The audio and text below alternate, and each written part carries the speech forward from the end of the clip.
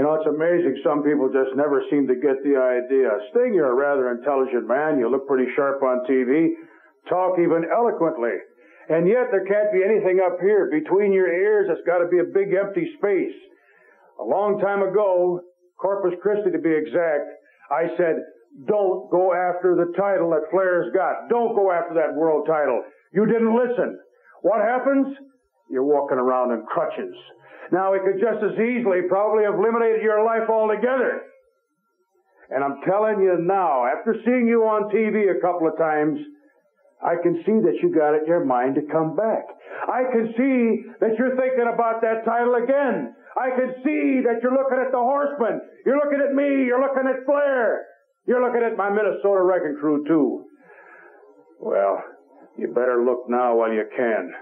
Because if you keep it up, you may not be able to see it all when we get done with you.